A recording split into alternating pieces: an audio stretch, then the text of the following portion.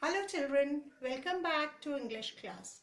Today we are going to know about question words. What are question words? Question words are the words which ask some question. So our first word is who. Now, who is used when I want to know the person. Who always denotes a person. The, so, for example, if I ask question, who is calling?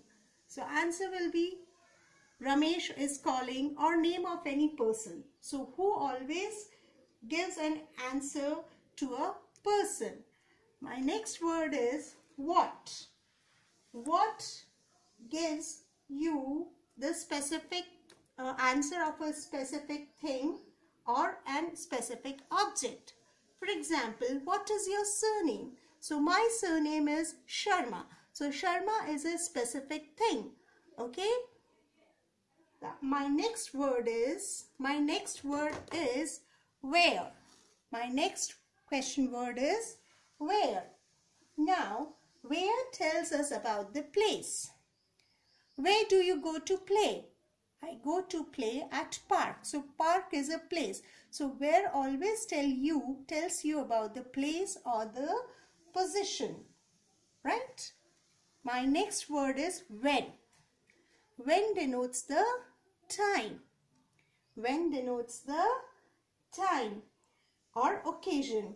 For example, when did you come? I came in the morning. So, when always denotes the time. My next question word is why.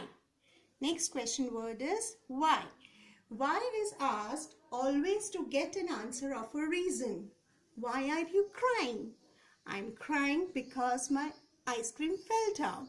So now why always it uh, the answer always starts with because. Next question word is how. Now how always denote to a quantity. How many, how much, how old, how big, how long. So this always denotes to a quantity. So these were the question words children. I hope you enjoyed the video, see it again and again and understand the use of these question words. I'm going to send you a worksheet also. You solve it so that the concept becomes more concrete. Thank you. Have a nice day.